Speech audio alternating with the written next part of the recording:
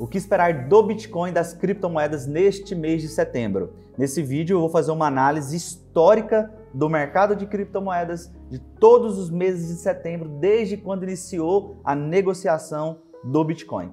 Agora, antes de começar esse vídeo e você ficar comigo até o final, eu peço já se inscreve aqui no canal, já ativa o sininho das notificações e já deixa aquele like, porque senão você não vai ganhar dinheiro nesse mercado. Eu já tô falando logo e pronto, ok? Então clica aí, se inscreve e deixa o like.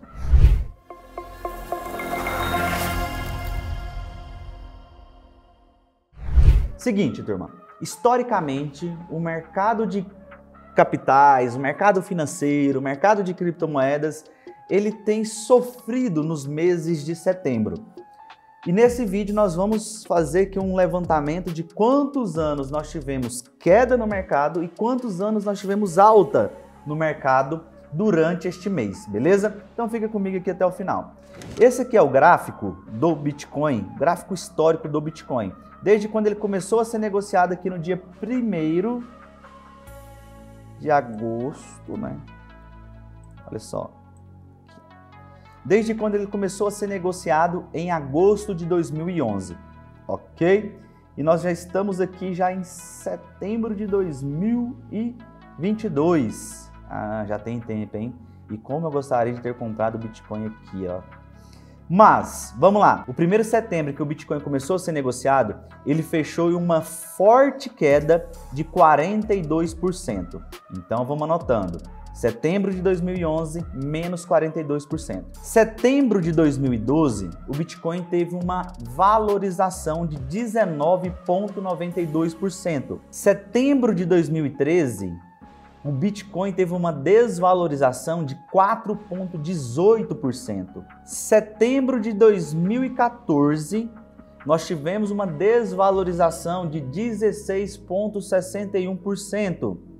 Então aqui nós já somamos três anos negativos e um ano positivo. Setembro de 2015, nós tivemos uma valorização de 6,62%. Setembro de 2016, nós tivemos uma valorização de 8,93%.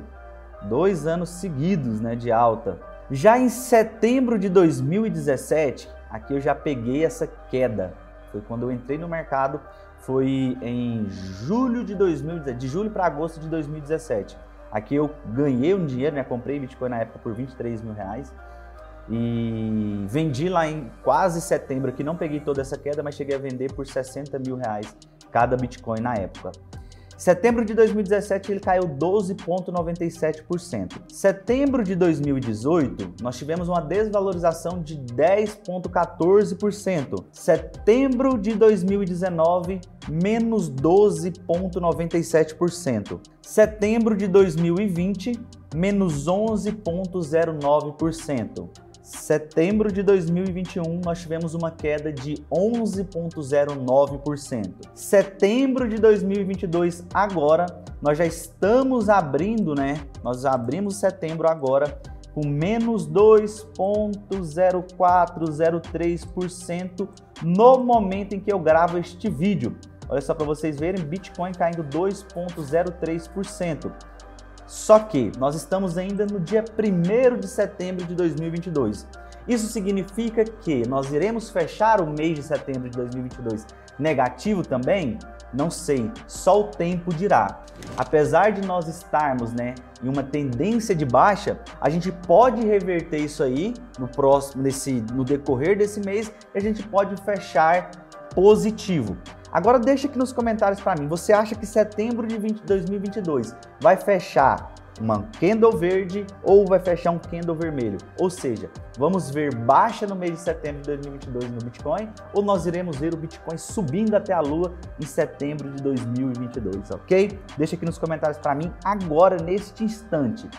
Agora, voltando lá naquele gráfico histórico do Bitcoin, o que, que eu quero fazer aqui uma reflexão com vocês. Se nós somarmos quantos meses, em quantos anos, né, nós tivemos baixa e quantos anos nós tivemos alta, a gente vai ter aqui 8 anos de baixa e 3 anos de alta.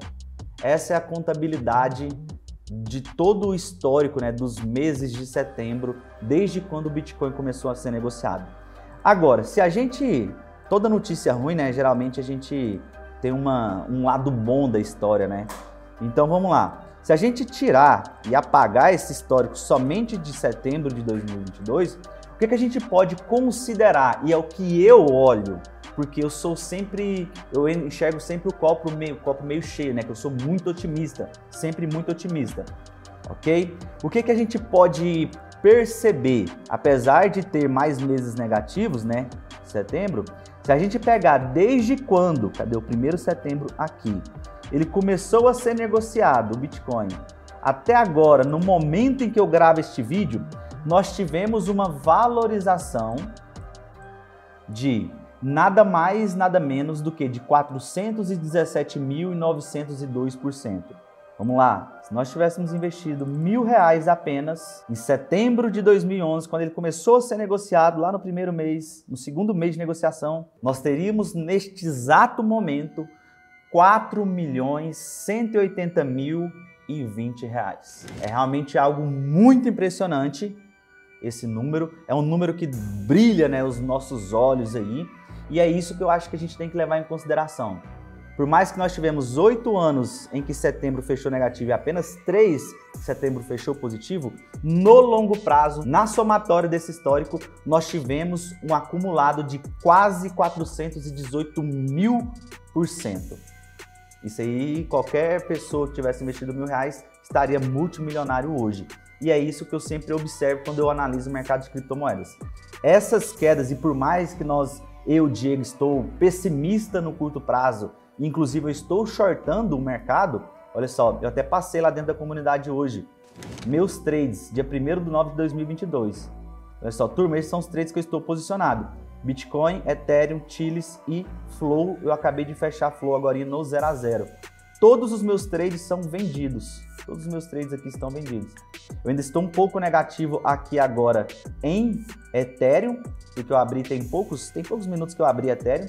Mas olha só, eu vendi 2.3 Bitcoins, estou lucrando aqui 1.407 dólares nesse momento. Vendi 71.230 chiles, estou lucrando 507 e vendi aqui 23.123 Ethereum. Estou negativo em 464 dólares, mas a tendência é isso aqui virar também a gente uh, a gente ver mais quedas aí ao longo dos dias, ao, longo dos próximos dias, e a Ethereum também vai colocar um lucro no meu bolso. Essa é a análise que eu estou fazendo do mercado neste momento. E Diego, o que, que você acha? Bom, índices futuros americanos, repito, né, mais uma vez, Olha só, menos 1% hoje, chegou a tá, ficar quase 1,5%. Nasdaq, menos 2,08% no momento em que eu gravo essa aula. Ou seja, ações das melhores empresas de tecnologia americana estão todas caindo.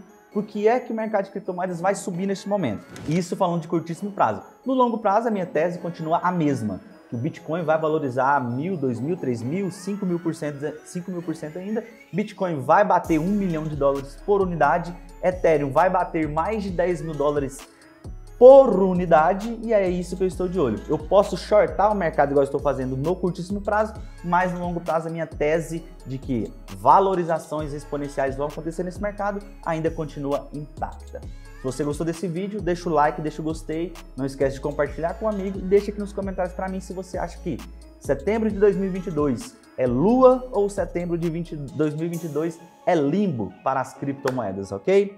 Muito obrigado, valeu e até a próxima.